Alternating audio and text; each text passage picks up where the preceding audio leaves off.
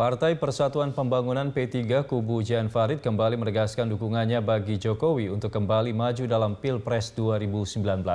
Ketua Umum P3 Jan Farid menyatakan pihaknya telah menyiapkan langkah-langkah untuk menjembatani umat Islam agar juga turut memenangkan Jokowi menjadi Presiden Republik Indonesia periode mendatang. Hal ini disampaikan Jan Farid dalam Rapimnas P3 yang digelar hari Minggu ini di Jakarta.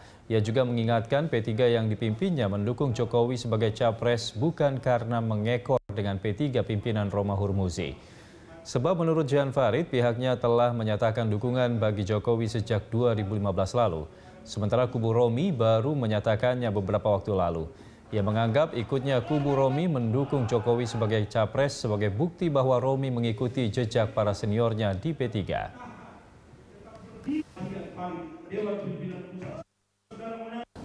Saya tetap menyatakan mendukung Bapak Presiden sampai hari ini saya tidak bergeming, saya tetap mendukung program-program beliau. Saya yang di depan membela beliau dan saya sekarang sudah siap bergerak.